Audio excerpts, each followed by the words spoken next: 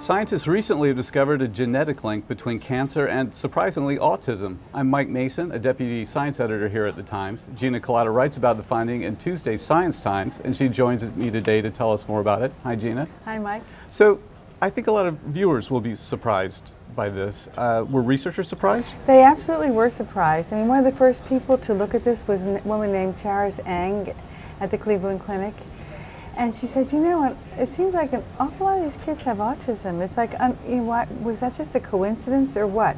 And that led her and then others on a search saying that people with this particular mutation, this PTEN mutation, tend to have autism. And it turned out that they, they had like about 10% chance of getting autism, which is huge. That's a, that's a really huge, high rate, huge. right? And then they found another, then people uh, around the same time started noticing that another well-known gene mutation called tuberous sclerosis or TS, um, those, there's two genes that can be mutated, and half of those kids had autism, which was gigantic. So, so just to be clear, we're not saying that what they found is that people with autism are more likely to go on to develop cancer. They what they have found that, no. is that in a subset of the population, with these mutations, that, there are extraordinarily right. high rates of right. autism. And these are mutations that also provide a risk of cancer. Mm -hmm. And in the case of tuberous sclerosis, they also have a very high risk of all sorts of benign tumors, including ones on your brain that can be lethal if you don't treat them. So your story tells us that with this finding, scientists have managed to breed uh, a mouse model of autism, right. which the phrase alone makes me want to stop and marvel. Like, you know, a, a mouse model a mouse of, art, autism. of, autism. Right. Um, what do they see in these mice, and it why was, do they think it's a valid model? It's weird. They took one of the genes that, that we were discussing, and they put it in only in the mouse's cerebellum, part of its brain. Mm -hmm.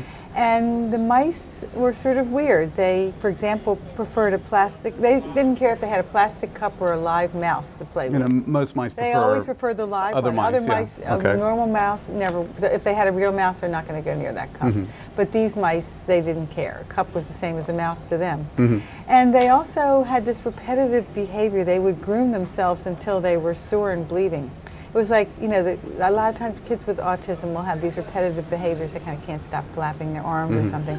These mice couldn't stop sort of grooming and grooming and grooming. Also, mm -hmm. children with autism often have severe learning disabilities. Mm -hmm. These mice had learning disabilities. You were telling us that they also are experimenting with therapies. Right. They took a they took a drug, rapamycin, that's used to treat that actually attacks this tuberous sclerosis mutation. Mm -hmm. And they gave it to the mice, and weirdly enough, while the mice were developing, they got better. I mean, they started liking live mice instead of cups, mm -hmm. and they could learn where that platform was, and they stopped the repetitive grooming. So the researchers were amazed because not only did they have a mouse that looked like it had autism, mm -hmm. but they had a drug that seemed to make a difference. I was surprised to read in your story that um, some of the families with children who are discovered to have one of these mutations and are also autistic uh, instead of being horrified by this, we're sort of relieved. Uh, yeah. And I, it's partly because I guess I guess autistic families with autistic children have struggled for so long to get anything definitive right.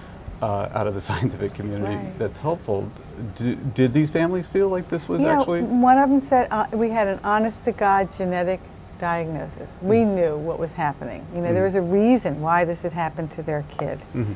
And they also found out that the parents didn't have that mutation. It had arisen just in their kid, just by chance. Mm -hmm. So that also meant that they, it wasn't like they were going to pass it on to any other kids. But they just wanted a reason. And the other person that I spoke to in my story said, yeah, it was just such a relief to get a diagnosis, to know what really went wrong. Yeah, so many of these families are, are dealing with uncertainties right, around the condition. Right, that's right. Well, thanks for being with us today. Thank that's you, amazing Mike. stuff. Thanks.